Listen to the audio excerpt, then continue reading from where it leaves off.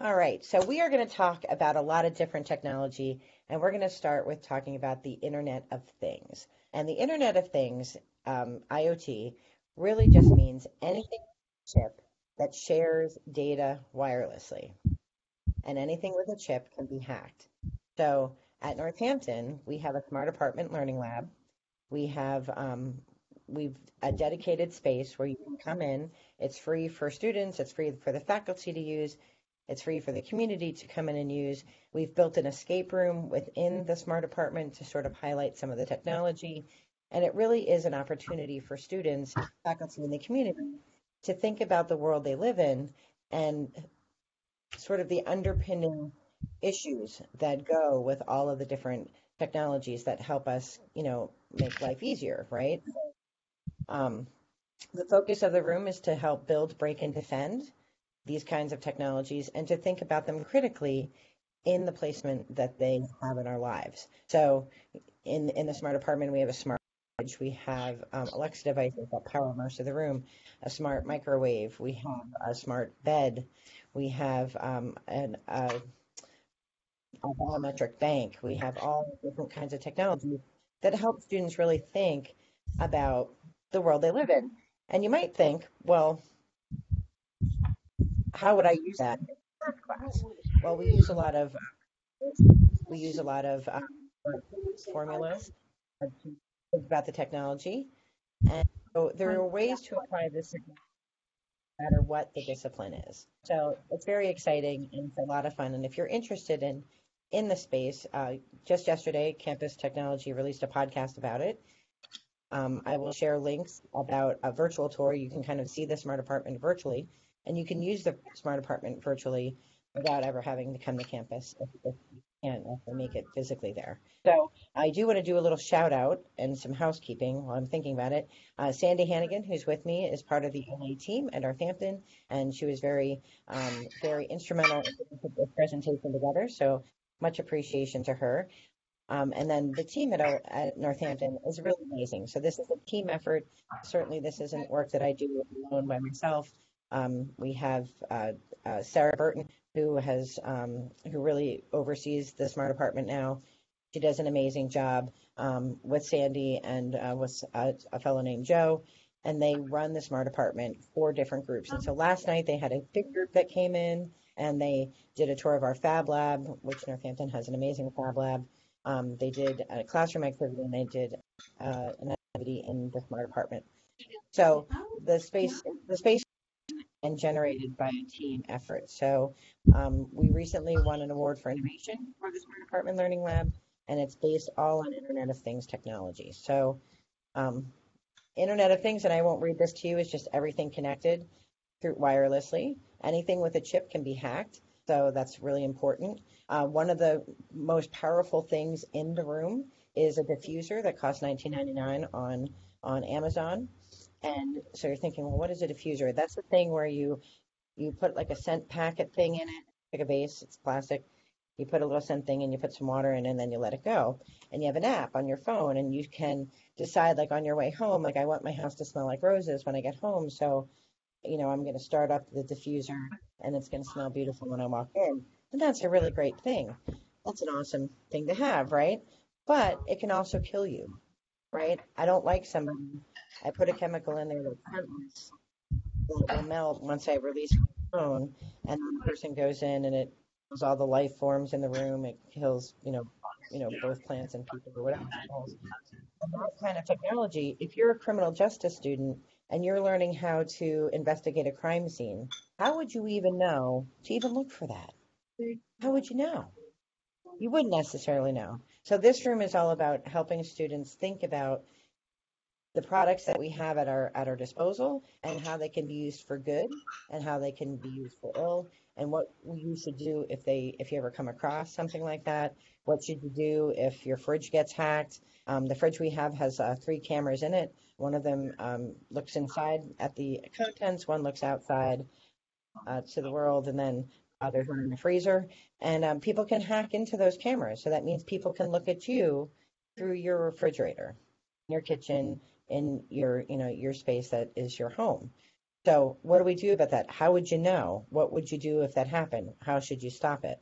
So, the kind of technology we have um, is interesting from a programming perspective and also from an ethical hacking perspective, but it's also interesting from a discussion perspective, the psychology of being watched all the time, the philosophy and ethical implications of being watched all the time, and the sociology of who has this kind of technology and who doesn't. Cultures have this, which parts of our society are are limited to the access and exposure to this kind of technology. And that really is what the smart apartment is about and why that one. So you can read all of these uh, slides on your own, but there's um, some links here to uh, classrooms and medical devices, of uh, tools that can work for good. So I always tend to lean on the scary side of Internet of Things because I want students to be safe, I want to be safe. But this technology is also amazing for people with alternate abilities. This um, kind of technology can empower people who might not otherwise have opportunities for that kind of empowerment. So there are good uses to this kind of technology. There are uh, risks, of course, with this kind of technology. And really, this room sort of brings it all together. So um, there are some some links out to some things that you can look at and some classrooms, and we're seeing more and more of IoT in education. And so here are some trends in 2022. Um, there's no doubt that the growth of IoT will continue to grow right? And 5G, as 5G grows, the gro- growth of IoT grows. Wearable technology, so uh, Google um, uh, has a smart coat, which has, um, you know, you tap on different parts of the coat and it does different things, like makes phone calls. Uh, it's called a, a trucker jacket. It was designed for truckers with truckers in mind so they could have hands free calling and things like that. You can actually make wearables you can make things that detect um, the temperature and report back. You can, um, you know, make things that talk to, you know, a shirt that talks to somebody else's shirt. There's all kinds of that technology. Pretty easy to make. You know, it's it's not that expensive, and as you know, the years go on,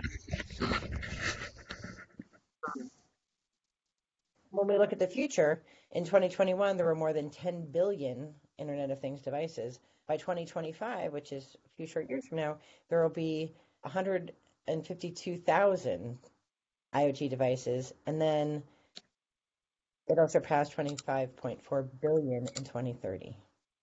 So this isn't going away. This is the future our students are facing. So how do we prepare them to be consumers, but also to be creators?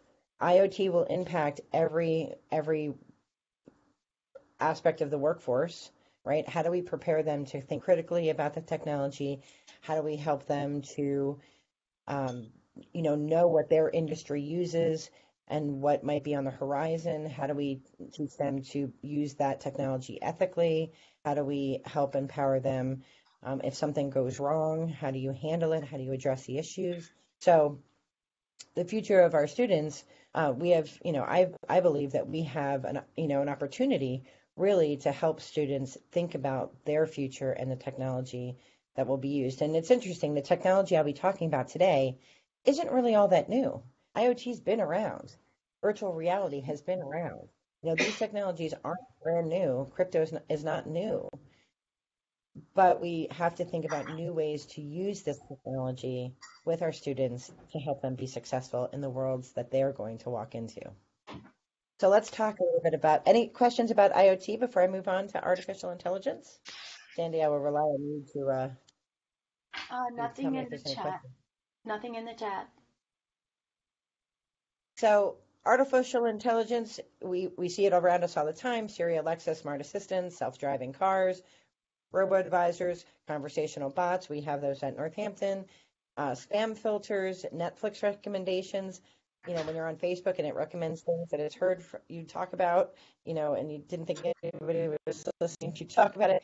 That's artificial intelligence, right? And so that's been around for years, but we're starting to be able to use it as consumers on a consumer level. So it's no longer that some big company like, you know, like SpaceX is you know, handling artificial intelligence. at our level to create and to uh, interact with artificial intelligence. quantum computing is a new way of computing. And again, not new. IBM um, has been doing this for quite a few years, but it's more and more accessible. And quantum computing is a, a little bit hard to wrap around because it it totally blows away the way that we think about it. So this is what I use with my students to explain it to them. If you take a quarter forever and ever in computing, we have we have programmed with ones and zeros, so heads and tails. Quantum computing is programming around the edge of that quarter. So it's infinite space. So things are faster, uh, uh, processes can happen faster, information can be gotten faster. Um, things that used to take a long time to process through a computer are faster because we have more of these bases that we can program on. And so it's infinite. So it, it can solve bigger problems because the speed at which um, things can process is a lot faster. So that's just the quarter example. And you're thinking, well, why would I use this in my psychology class? Well, if things continue to get faster and faster, what does that do for helping people understand patience and stillness and you know if we if things get faster and faster you know how do we put on the brakes how do we help how do we help our students think about issues when speed is is concerned in our culture in our work processes right so knowing that comp- computing is getting faster and faster you know that's important for us all to know cryptocurrency is very, very important and has been around. We've all heard of Bitcoin, but there are actually quite a few coins, Ethereum being another one. It's a non physical coin and it can be split up into tiny little parts. Um, it can't be tracked unless there are actually ways to track it if it's it's traded on the top web. But Bitcoin started in the dark web, which is part of the deep web. So if you think about an iceberg, you think about the tip of an iceberg, that's what's called the top web. And that's what we use. And a good way to think about that is if, if something can be searched through Google, it's in the top web. Medical records, education records, things like that, that's all in the bottom web. And in the bottom web, that's stuff that can't be searched by Google. In that bottom web is this place called the dark web. And the dark web was actually started by the US Navy as a way to share files. So there's there's nothing illegal about being on the dark web. There's nothing illegal about sharing information on the dark web, but it is untrack, track, untraceable because it uses the Tor um, browser, which is an onion layer. Um, so little pieces of onion. So you don't. If you think about an onion and all the things that you peel back, that's what you have to go through to sort of get to the root. And so it's very, very difficult to trace back, and not impossible, but it is difficult to trace uh, back to the original posting person. And that's where cryptocurrency started as a way to pay for illegal things on the dark web. So just like there's an eBay on the top web, there uh, is uh, it was called Silk Road there's been many um, iterations of that. The first person who create the person who created Silk Road has gone to prison, but there are other versions of that on the dark web, and they don't exchange money; they exchange Bitcoin so that it's not traceable. Now we see Bitcoin being used in the top web, and we see it being used in different countries, and now we see it being used in the U.S. as a way as as a currency, and so this whole new world, we're right at the beginning of it, the use of crypto but as our students go into their futures, I see more and more crypto um, coins uh, coming into fruition and being used uh, to exchange goods and services. All right. Any questions before I move on? Sandy, will you be my timekeeper too? Because I can't see my clock. Yeah, it, and this ends at 11. 11.05. 05? Is that right? Is that right? 11.05? Yeah, I think so. Um, no questions. And No it's ten forty-five. 1045, thank you.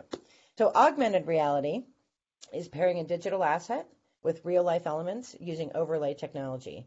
So you can use your phone to hover over something, kind of like a, um, a QR code right at the store. You can do that and, and something appears. Um, and you can see some examples here used by Volkswagen and Boeing, right? And it's ways to solve problems. Augmented reality can be used in 2D version, which is like your phone and something, and it can also be used in 3D, um, which is what the Boeing folks are doing in this picture. So uh, the Rolling Stones used um, augmented reality years ago now, 2012. They were using augmented reality, and it was a bonus if you if you got their um, their single for Gurr.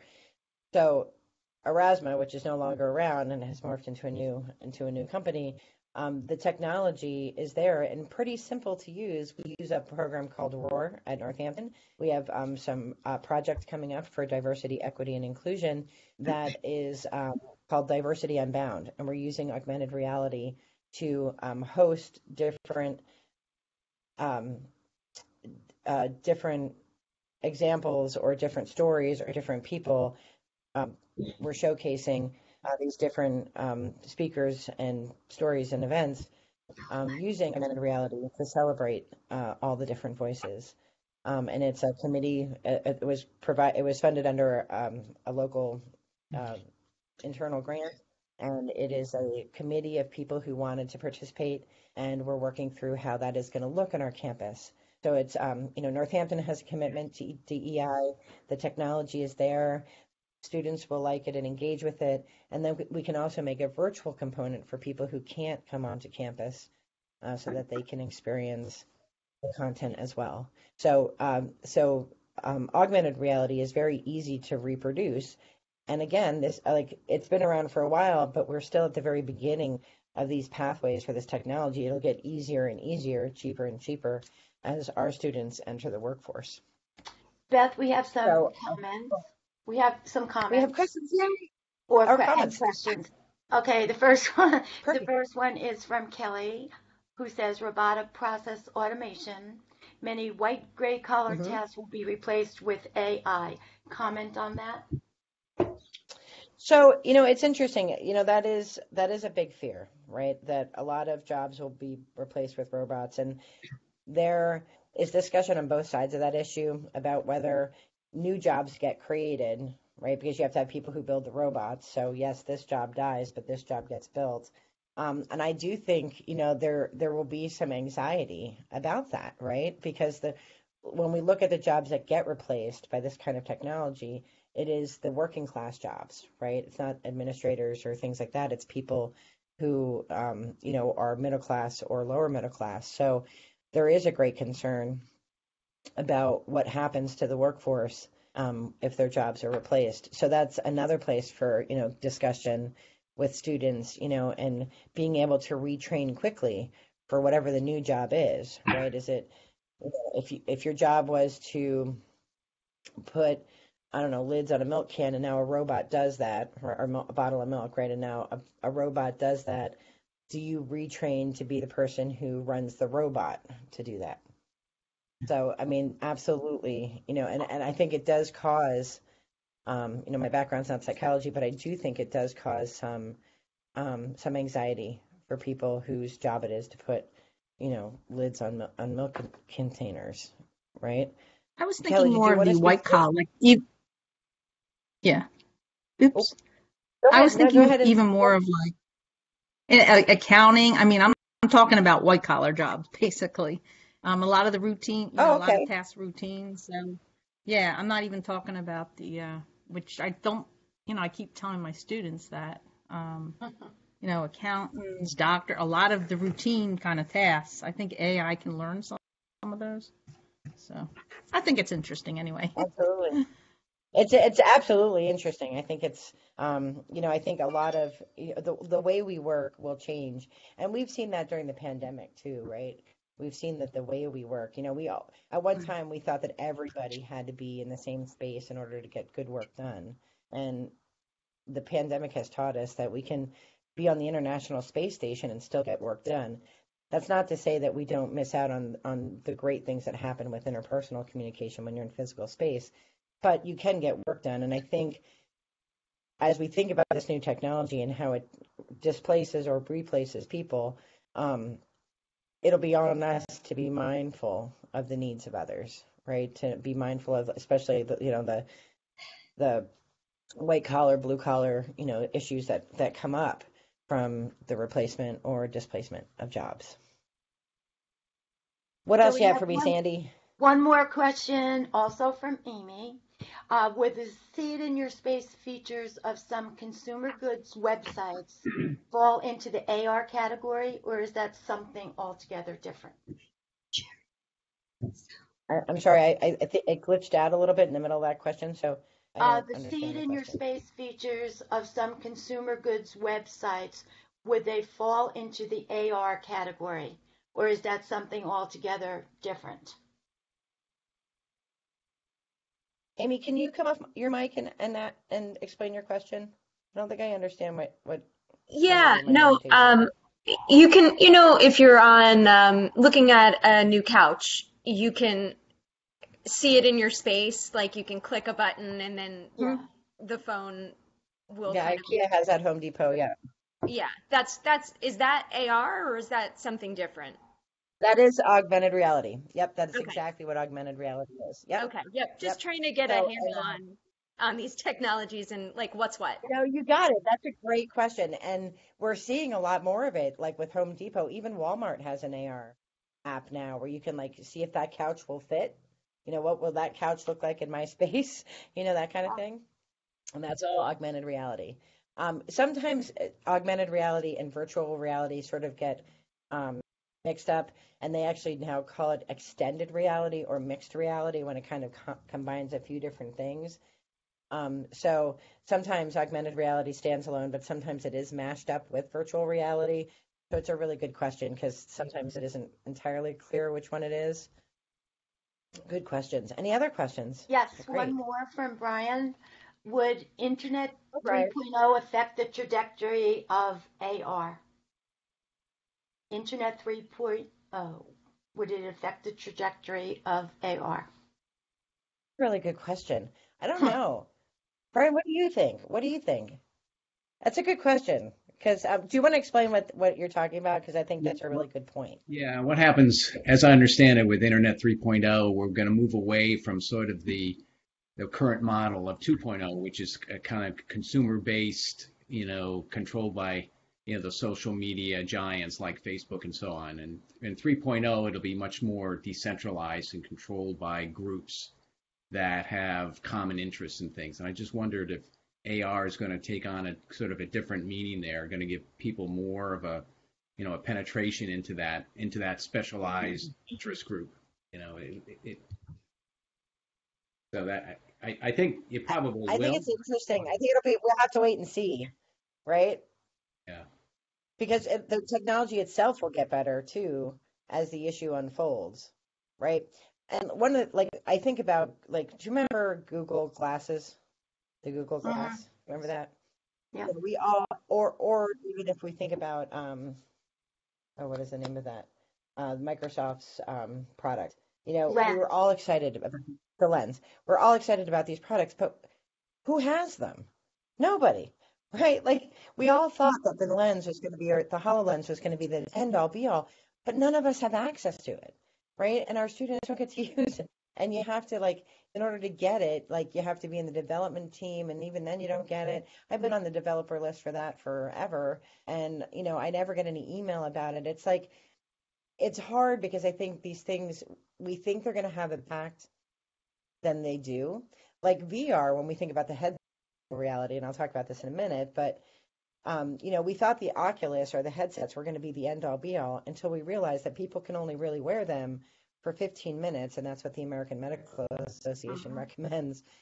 So it's not good to have people in headsets for long times. And it isn't accessible to everybody because if you have motion sickness or things like that, it can be very disorienting. So while it's great technology and very useful in many places, it isn't useful in every place. And so it isn't a solution to every problem, right? So I think when we think about 3.0 technology, I think folks can't get, they can't wrap their head around what that's going to look like, um, Web 3.0, because we're still in 2.0. So I think the discussion about it, but also the tech, as we're discussing, figuring that out, the technology to improve and change. So it'll be interesting to see for see how it shakes out. But excellent question. And just finally, else, one, Sandy? another uh, comment from Kelly, maybe the metaverse. Seems like you'll like this, Beth. Seems like Second Life coming back to life. It is. I'm actually in the process of building. Um, for those of you who've met me before, I've been with Second Life since 2007, having built over 77 literary sims in uh, Second Life and back on the Teen Grid when that was a thing. Um, and I've just uh, started build, rebuilding the House of Usher, and and it's becoming more and more popular again. Um, it still remains the easiest to use of the virtual worlds. OpenSim is very good, but OpenSim is really connected to your university, and only you can participate. Where something like Second Life, you know, you can meet with people all over the world. And there's a lot of work being done in the metaverse um, between educators um, who are very well connected um, that are really kind of bringing it back to life. And the ability now to put some of that into an Oculus 3D experience um, will will transform that technology once again. So I, I do I, I don't know that Second Life as a product platform will be necessarily the thing that moves forward, but the concepts no that underpin it. email addresses. No intro. All right. So virtual reality um, is immersive reality. So your world is a different world. There's 2D and 3D. So 2D is tabletop. Your Second Life, you're on a computer and you are sitting somewhere and you're interacting in a virtual world. World of Warcraft, virtual reality um, can be a game. It can be, uh, but it's 2D. Um, 3D is when you wear the headset, the Oculus, the Vive, whatever, and um, and both um, you know both have made exponential leaps and bounds in the past few years. But there are some advantages and disadvantages to both 2D and 3D. Um, I was very fortunate to work with um, Sales University, where I teach as an adjunct, and uh, we had a grant from a coroners, so from Pennsylvania Coroners uh, Department, and uh, we had a grad student whose job it was to look at 2D virtual reality, 3D virtual reality of crime scenes, and then from a coroner's perspective, which of those technologies was more informational and which one was easier to access and use. And so um, 2D VR, tabletop, Second Life, something like that, it's very easy. Both of them have their own languages and scripting languages and the way that you build objects within them. But um, the grad student, and we picked a grad student who was good at computers but didn't know either language for either setting so that she could, you know, see how quickly she could learn it and then use it. Um, in 2D VR, it's pretty, it's not easy, but it's easier to quickly build a crime scene. We used a crime scene from New Jersey, um, the John List case. And so she built the crime scene and she had to learn the language and learn how to build in a short amount of time and was able to do that. And then her job then was to learn how to do the same thing to build a very simple crime scene uh, that could be displayed in an Oculus. And that was near impossible within the time frame she was given because it's so much harder to learn that kind of programming and you need a whole team. Really, at the end of the day, you need a team of builders to build that kind of environment. So, you know, her conclusion in her in her paper that she wrote was that the 2D reality is still,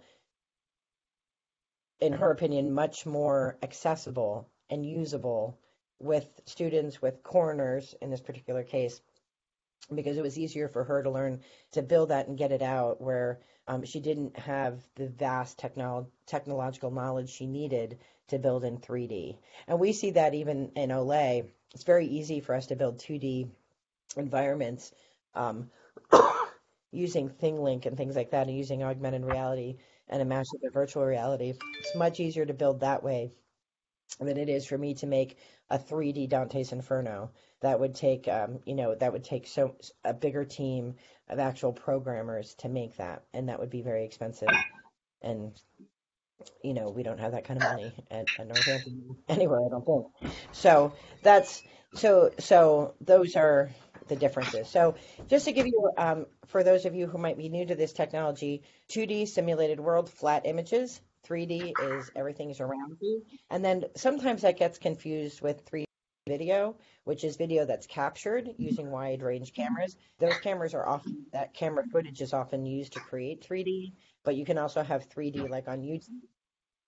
You can have, uh, you know, the 360 videos. That's not necessarily 3D, right? 3D is the objects, moved and um, and when you're in with the headset on, you can touch them. You can manipulate your environment sometimes. Um, so it's a little bit different. Does anybody have any questions before I move on? I only I feel like I have only ten minutes. There's right? just Five one minutes? more one more question here, and you have five minutes left. Um, from Oh. Anitra, I see AR being referred to as immersive. Is AR immersive reality as well? There So needs so um, I don't have the ability to mute anybody. So somebody's banging pots and pans, which yeah, sounds like I, fun. I can't see who has. I didn't.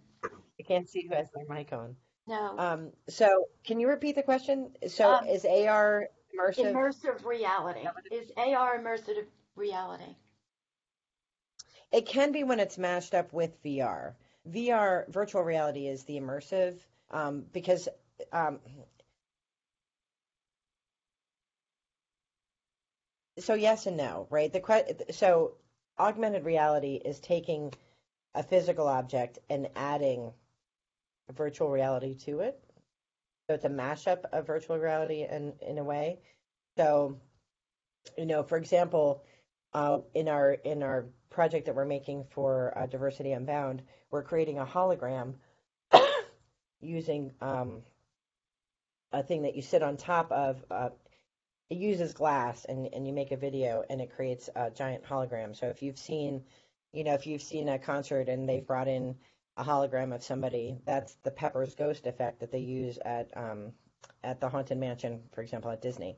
So um, that technology is both VR and AR, right? So you're using augmented reality because it's a physical object and a digital asset, uh, but then we're going to create a a 3D virtual human. Hopefully, our new president will agree to be our speaker, and we'll create that, and hopefully, it'll be life size, and we'll make that in our fab lab out of sheets of glass. I don't know if that answered the question very well. I hope so. All right, so what is the future of higher education? And, and I'll provide links to all these things. If you have the opportunity, please take a moment to um, click around in these slides because there's all kinds of links. One of my very favorite movies that I watch, and I, I, I usually show it if I have a longer time, it's just a two minute clip, is from Virgin Galactic's president. So, for anybody here who's a music fan, Virgin Galactic, Virgin started off as a record company that produced um, musical acts that the mainstream would not produce. The Sex Pistols, if you're old enough to know who they are, right? So they have always been on the on sort of the cutting edge in music, and so they created a way for all of us to go to space, right? So up until now, you had to either be an astronaut or you had to get a job with SpaceX, right, to to go up into space, but you had to be trained as an astronaut. And Virgin Galactic's president said, "Hey, what if we just take people to space? They can't get out, they can't get off, but we can take them around for 15 minutes. They can take pictures of the Earth, and then we'll bring them back down. They don't have to be trained as astronauts. They do have to be trained, you know, for for weightlessness. But we could take them up as a vacation, and we'll charge them $250,000 to do it." And so Virgin Galactic now runs commercial flights or vacation flights up into space. And so when you think about, when I think about the jobs of the future, I think, wow, we teach hospitality at Northampton. Can you imagine the the um, the stewards on these on these flights of the future? Like they're going to have to be trained how to I don't know how you serve drinks and and pretzels like in space. Like how do you do that, right? But then you know also jobs at SpaceX. You know it used to be that you had to have a military commission to work at or be a contractor with the military to work for places like NASA. Well now SpaceX is a business and our students may have the opportunity to work there. So, what do they need to know about all of this technology that didn't exist 20 years ago that exists today? Right. So, if you have an opportunity, definitely watch uh, Letter to My uh, Grandchildren uh, by the president of Virgin Galactic. Um, but also think about the way that solar is impacting our communities and culture. It's how robotics, robotics is it ro- uh, robotics, It's artificial 11:05. intelligence? 1105. Thank you very much. Does anybody have any questions? Pray let you go into the wild. I appreciate so much that you came, and I love talking about this stuff. There is um, uh, a chat right after this if people want to hang out and chat in the chat room. I posted a little afterwards chat. I do, if you're not going to that, I definitely want to send some props out to my colleagues at Northampton. Uh, in the CTLT, we'll be talking about how we do amazing professional development things through our CTLT, and that's a, a very good group of uh, folks that'll be talking there. So um, if you don't go come to our chat session, definitely pop into there.